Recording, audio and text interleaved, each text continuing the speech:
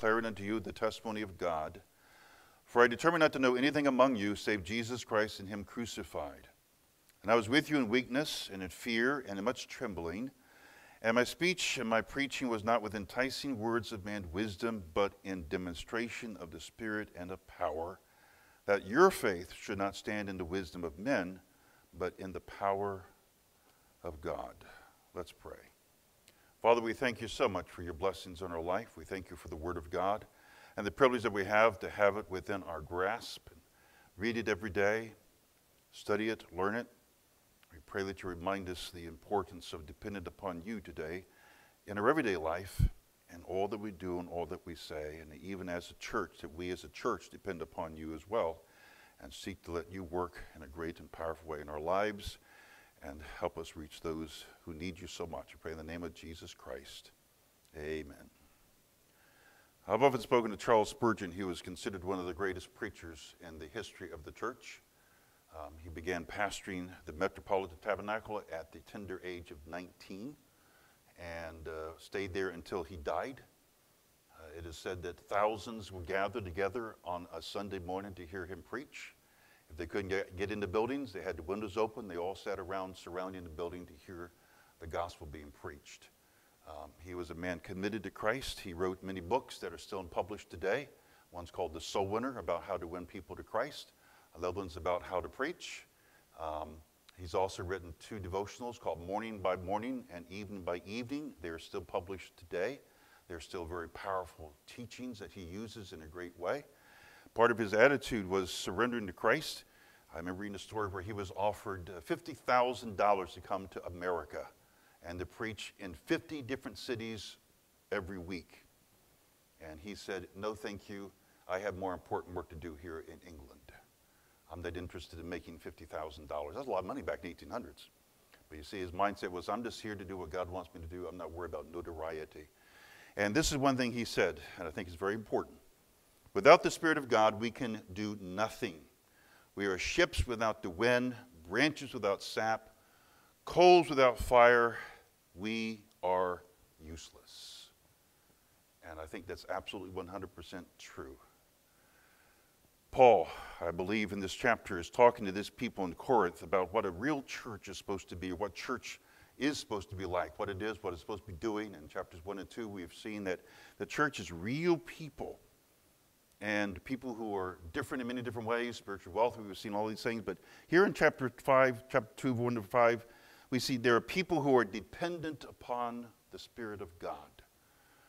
We are people who are fully independent of the Spirit of God. If we don't depend upon Him, then basically what we have here is a social club to come and interact with each other. That is not what the church is. The church is a spiritual, powerful, group of people empowered by the Holy Spirit to accomplish the mission that God has sent us here. And we must learn to fully depend upon Him completely and totally. Paul did that in his ministry. Look, look what he says right at the beginning.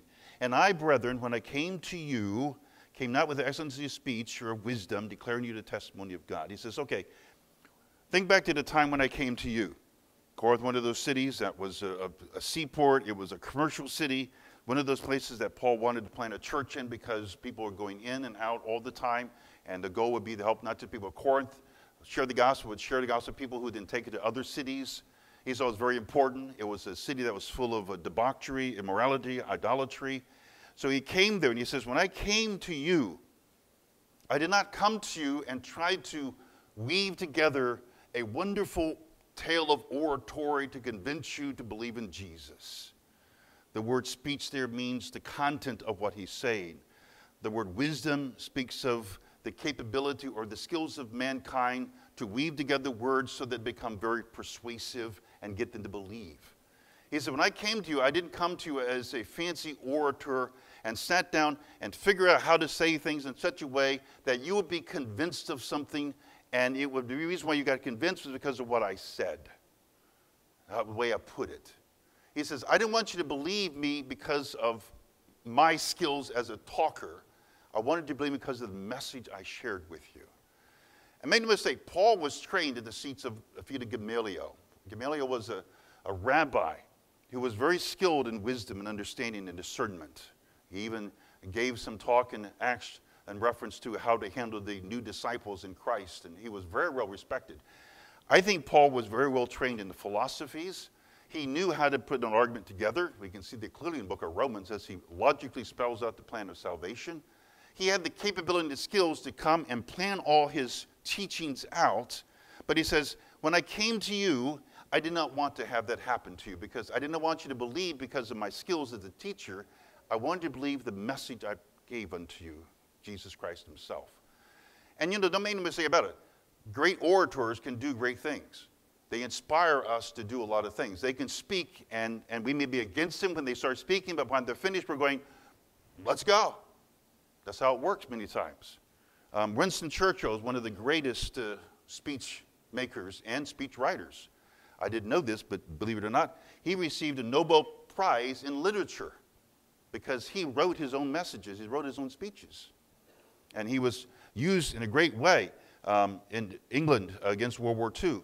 One person described Churchill by saying, he managed to combine the most magnificent use of English with an incredibly powerful delivery.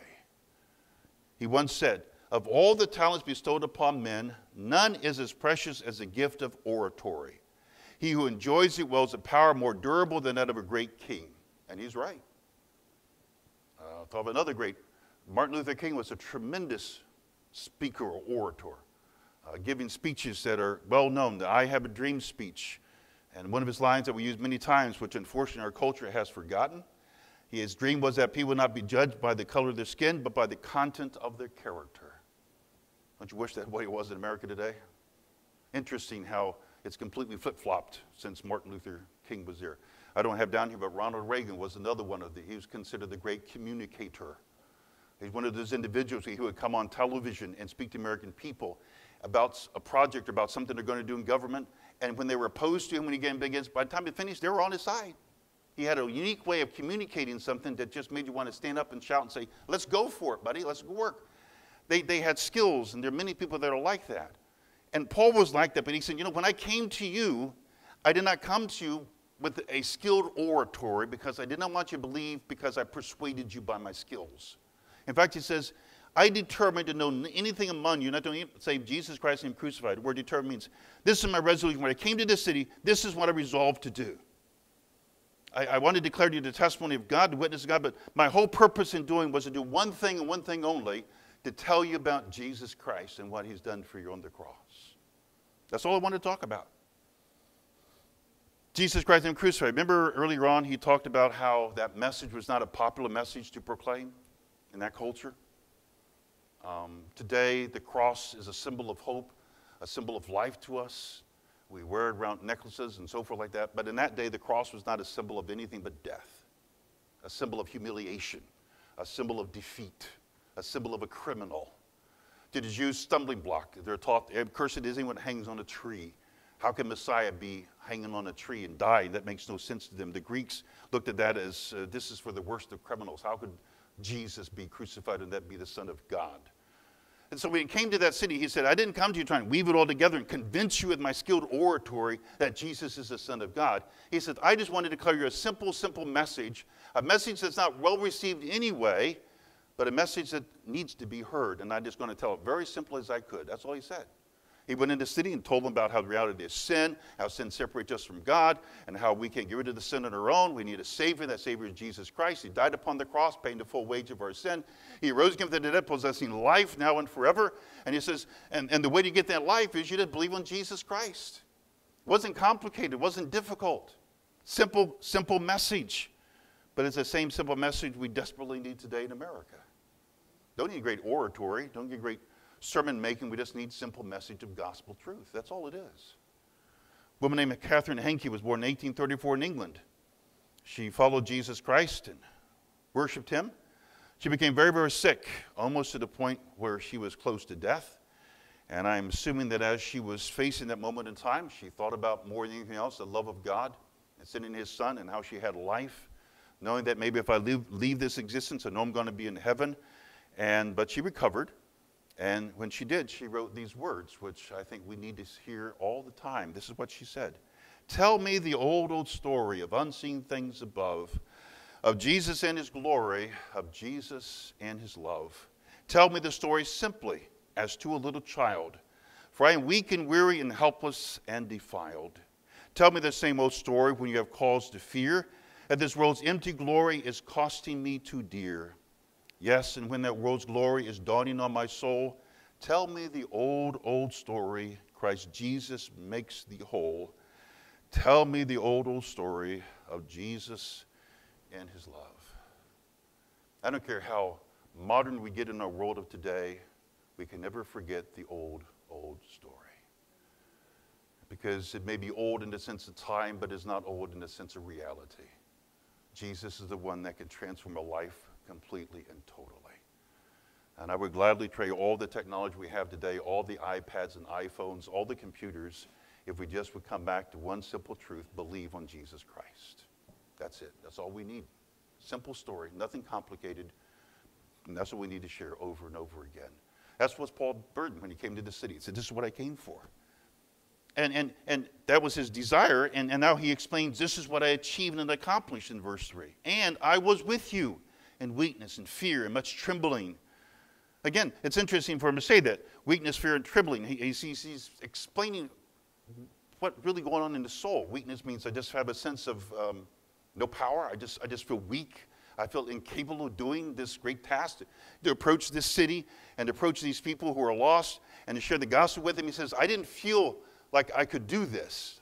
It was a sense of real understanding of how weak I am. The fear and trembling means that he, he was really literally um, shaking in his boots, as it might be, to try to share the gospel with them. Not, not the fact that he was ashamed of the gospel, but because he had such a tremendous burden to see them hear the gospel and respond to it. He understood that I'm just a vessel and I, I don't want to mess up in my story. I just want to do something that's something great for God. Um, you know, I understand it perfectly. I mean, you know, I've told you before that, that when I was in high school and my first year in college, more or less, um, probably the second year too, um, I was terrified to stand in front of speaking people.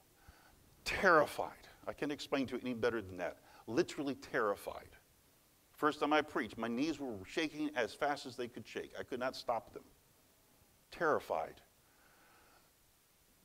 And I, you know, I've been here 11 years, so I don't get quite as terrified and quite as anxious. I don't feel weakness and trembling and fear all the time, but I still do fear a sense of apprehension every time I get up here.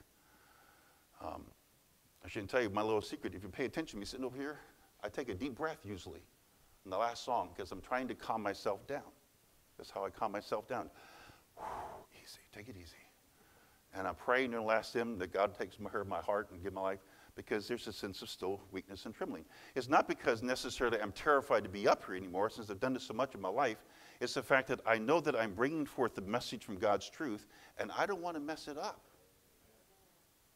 And, and I told my wife, funerals take a lot out of me. I, I know you don't realize and understand that, but they really tear me up inside because um, I know that perhaps at the funeral, there are going to be people sitting out there that I have never met before in my life and I don't know where they are in reference to their eternity. And this may be the only time they're going to hear the gospel of Jesus Christ. And usually at a funeral, they're thinking more about it than any other time. And so when I'm preparing and working, I'm praying all the time that somehow help me to share something that would make sense to them and not mess it up with my foolishness and my mess up skills or whatever it might be. Let me just present it simply and truly as I could.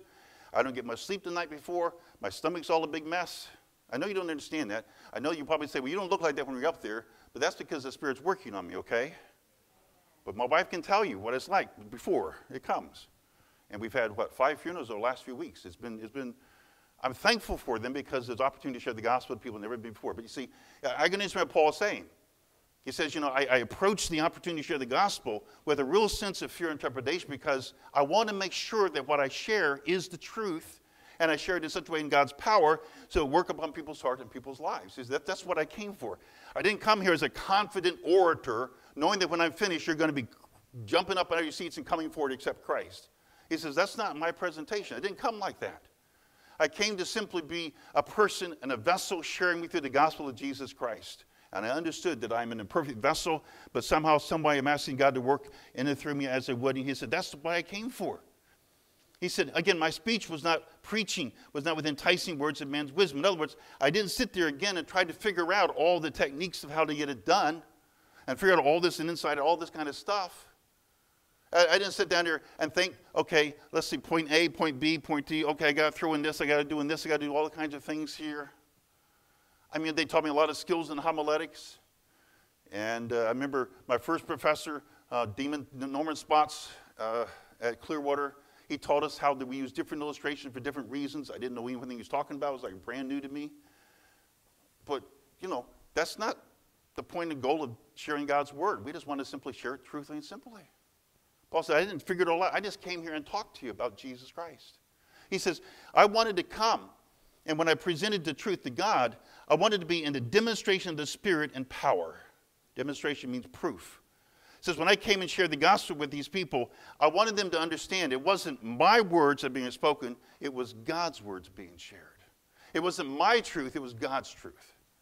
It wasn't shared in, with my skills of ability to put it together. It was shared in the power of the Holy Spirit that went forth and brought conviction upon people's hearts and people's lives. See, Paul understood. You know, man's oratory can only do so much. It can inspire people, but it can't change hearts. The only thing that changes hearts is the Spirit of God. And His truth is all that changes hearts as well. And he said, When I came there, my burden was to share the gospel of Jesus Christ and to live out the gospel of Jesus Christ in such a way that my life was proof of how Jesus changed me. So hopefully that message will reach out to you and change your life as well. That's what he said. And throughout history, that's how God worked. Remember, we saw God uses the foolish, the forgotten, the ignored people to be used by God to share his truth in a powerful way.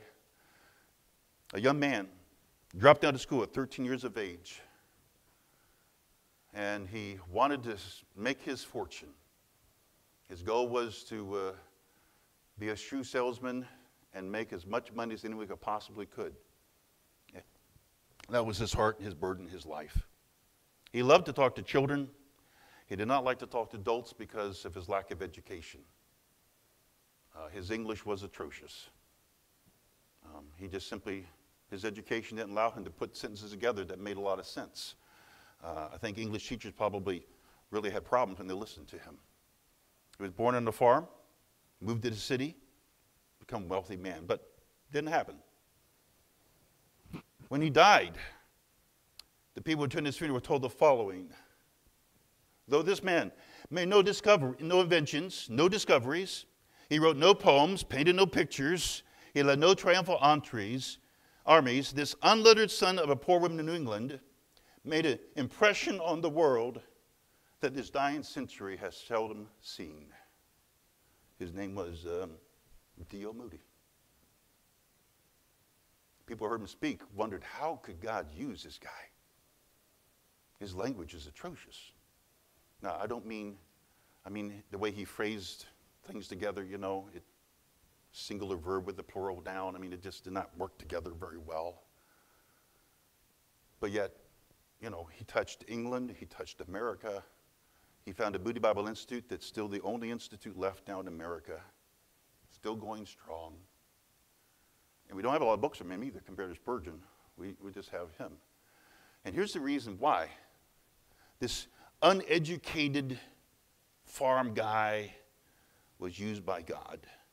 He was in England one day, and he heard an evangelist Henry Varley say, the world has yet to see what God can do through a man fully yielded to him. And D.L. Moody said, By the grace of God, I'll be that man. That's it. Simple as could be. I remember time the people were asking about uh, pastors together having a, a, talk about me. And said, Let's get D.L. Moody to come and speak to our, our, our, our city. And one of the guys said, Why do we need Moody for? Does he have a monopoly in the spirit or something? And the pastor said, No, sir. But I tell you this the Spirit has monopoly on D.L. Moody. How could that guy be used so greatly by God? Very simple. It was in the demonstration power of the Spirit of God. That's how it happened. He didn't come as a skilled orator, he came as a vessel filled with the Holy Spirit of God and empowered by the Spirit of God to present words that God used to go deep into the souls of people and transform lives and hearts. Paul did that. That's what we should be doing. I'm not talking about just preachers, I'm talking about every one of us as a child of God. We go out into this world around us and we're vessels of Jesus Christ to share the gospel of Jesus Christ wherever we are. and we do so with fear and trembling. We don't know we should say something. We don't know what we should say, how we should say it. Doesn't make any difference. We realize we're there as God's vessel, and so we just have the Spirit to work in us and use us in some way, somehow, to touch a life for Him. Let them see the power of Jesus Christ in me. Let them see how He's changed my life. Let them see the difference He's made in my life. So somewhere, somewhere, if I get an opportunity, I can share quickly about the gospel of Jesus Christ and let them know it's nothing complicated. It's just Jesus who's changed me, and He can change you too. Our life should be fully in the demonstration power of the Holy Spirit. And he says, You know why I get all this? Verse 5. In order that, that word that means in order that, this is my goal, this is what I wanted to see happening. Your faith, Corinthians, should not stand in the wisdom of men, but in the power of God. He says, if I came to you and, and crafted these, or, these wonderful sermons and wonderful messages and put it all together to inspire you, he said, you would stand in my wisdom. In they would respond to me and say, because Paul said this in this wonderful way, I'm going to believe. He said, I want to be that way. I don't want you to, to stand in the wisdom or be in the wisdom men. He says, I want your lives to be one thing, one thing only. I want your lives to demonstrate the power of God in your life. That's it. Where power is word dynamo, dynamite. He says, I came as a vessel by God to simply share his truth in a simple, simple fashion. So the end result would be God touching your life and changing you so people look at you and say, wow, something happened to you. The power of God exploded inside, and I can see He's made an impact in your life. That's what needs to be done. And it doesn't happen until you and I fully depend upon the Spirit to step out and live out His life and share His gospel wherever we go, whatever we do in life. One of the things that, that really saddens me about the church, and I'm speaking the modern church in general in America, okay? Very general, all right? Generally speaking, they don't depend upon the Spirit anymore. They depend upon programs and consultants and schemes to get their ministry going. Uh, that's how, how it works. Uh, I remember reading a story of a woman who was working at an umbrella, this is years ago, a large umbrella factory in Philadelphia, considered one of the largest umbrella factories in the world. And she was telling her pastor, she says, I got to go find a new job. He said, Why? I said, I thought your company's doing great. She said, Well, well, yeah, they got plenty of orders and, and, and it's busy. She said, Well, why do you need to find a new job? She said, Well, because they don't have enough electricity to run all the machines. So I sit there half of the day doing nothing, and I don't get paid if I don't do nothing. I need to find a job where I get paid for doing eight hours a day. And she says, You know, the problem with business? My problem is that they have too much machinery, but not enough power. That's like many churches today. They got tons of stuff going on, but no power. Because they're dependent upon the program, dependent upon something else, dependent upon their skills and their imaginations, how to do things. Um, you know, I've been involved in meetings uh, um, throughout the years, particularly there when I was a professor. And we get together to discuss ministry, discuss the college, discuss how we can reach more people for Christ. And they don't even pray. We get together, and, and uh, sometimes with Dr. Kendall, and, and we get together, and boom, start me, let's go. And he and I look at him going, shouldn't we pray? I mean, we're talking about God and his ministry and impacting young people for Christ. Shouldn't we start with prayer? Finish with prayer? No. Prayer's not ever included at all. Why? Church doesn't need prayer. We need programs. We need skills. We need how to put it together. You know, I told CJ, and I, you know, we had a meeting Thursday night. I didn't talk to him at all about the meeting whatsoever, you know. Um, and he started the meeting in prayer. I was, I was thrilled. It was great. You know, he said, Do we have any prayer requests? You know, my first thought, well, this is not Wednesday night, this is Thursday night. Get my meetings confused a little bit here. And asked Richard to pray. But I thought that's what's supposed to be done. We're having a meeting with Sunday school teachers and we're going to talk about Sunday school and in the church and what we're going to be doing, we ought to pray to God first before we do anything else because He's the one that gives us the power and the wisdom to do what we got to do, right? We're thankful to have CJ as a leader in the church and doing this kind of stuff. And you know, we want to make some changes. We, we talk about different changes we want to do. We want to do different changes. We're going to do some different changes in worship time. We may try on Sunday. I've been trying to get it working together. Maybe a little different. Screen down, singing some words on the side, different words you're accustomed to doing. But we're not going to do anything and make any changes unless we bathe first in prayer. Asking God to give wisdom, to guidance, so that whatever we do, whether it's an outreach in the community or helping us to do better in Sunday school or children's church or whatever it might be, youth work, we're doing it because this is what God wants us to do, and we're doing it in His power in His strength, not in our own men- mentality and abilities. That's how we're supposed to do church. That's how we're supposed to live this life. You know, you really can't plan, okay, today I'm going to talk to so and so, and this is what I'm going to say A, B, C, D, because you may never meet that person that day. God may bring something completely somebody else in your life, and you have no idea for them, and it's like a shut in sock, but then something opens up, and you just simply start sharing the truth and let it happen. I found out when I do that, that's when God really works. I remember time I went to uh, the county prison in, in Clearwater. My friend Dave Bess was on um, the prison ministry. We have ministries in Clearwater, different ministries um, prison, beach. All the guys wanted to do beach ministry. I don't know why, but that's what they seem to gravitate towards. But um, mission, you know, the missions and like homeless shelters and that kind of stuff. And Dave was in charge of the prison. And by this time, I was already starting to share God's word. And you share the God's word wherever you can. He said, You want to come preach in prison? I didn't really want to do that, but I said, Sure. I remember I came there, and, and the guy came in to a group of guys. They're not hardened criminals, it's just a county jail. And he said, Hey, these guys want to talk about God. Anybody interested?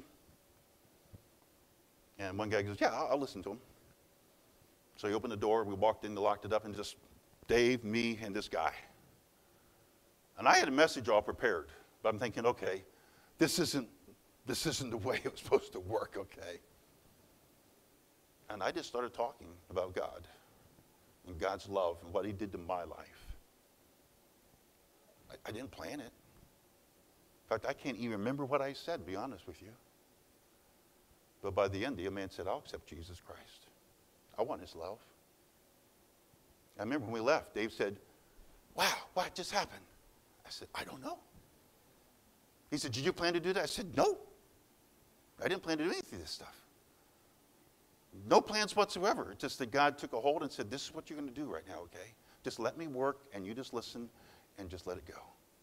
That's the best way that God works in our life, my friend.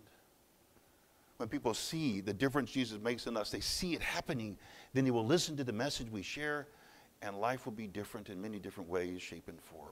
You see, because the key of everything in our ministry, in our life, is to let people know that Jesus Christ makes the difference. We live a culture today that has abandoned God and His truth rapidly. And there are people out there that don't even understand anything about who Jesus is. And they need to see people who love, who are kind, who are gracious, who live out God's principles day in and day out of their life, and see there's something different about you. What's made the difference? We can tell them. Jesus did. How did he do it? I don't really know how. I just know that I believed and my life was changed. And he gives me the power to follow his principles, to stand on his promises, and my life is just radically different than it's ever been before. How do I find it? Well, you just do the same thing I did. I just asked Jesus in my life. As simple as that. Really, that's that easy? It's that easy. Next thing you know, we have a life that radically changes like yours was. You didn't plan for it. You didn't figure it all out. You didn't sit there and figure out how you're going to say anything. You just simply said, God, here I am. Fill me with your power and help me live your life for you. And they see the difference. That's what we're here for. We depend totally upon the Spirit of God every day. And as we do that, He gives us the power to do what we need to do in life. We appreciate the Gaithers and their many songs that they have written over the years. And, uh, you know, they're getting up in their ages too. I believe Bill Gaither's is in his 80s now. And uh, there's going to come a time where we're going to hear them going home. And, of course, they'll be singing their songs that they're in heaven, I'm sure, uh, when they see Jesus. One time, Gloria Gaither wrote a song, and she wrote it because of four people. One, because a man that she knew was very bitter and angry. Um, he kind of controlled it outside, but when he got home, his anger just exploded, abused his kid, children, his wife. One day he was uh, invited to church and came, and a man who was sharing a song shared a testimony. And it so happened as a testimony just like his life, how he was full of anger, full of bitterness, and then he found Jesus, and Jesus changed his life. That man came forward that night and found Christ, and his life was radically changed. His home life completely full of love. A few days later, she attended two funerals. One was for a man who was, uh, did not know the Lord, again, cold, hard, and angry. She said a few people gathered together. Not much was said because what could be said over this life? And then she went and attended another funeral. That man was a radiant follower of Christ, filled with people, joy, rejoicing among tears, but still a sense of tremendous joy because they knew the man was home with Christ. They saw how Christ impacted his life. And she said, she thought about those lives. The man who gave, shared his testimony, how God changed his life, then the man who changed his life through Christ, and then this man whose life was not lived very well and no one cared. This man whose life was lived for Christ and how it touched many people for him. And so she wrote these words because she figured, what in the world is the difference between all these people? And she concluded, this is what she concluded. I'll just read the verses. You know them anyway. You'll hear them when I go through them. Twas a life filled with endless desperation.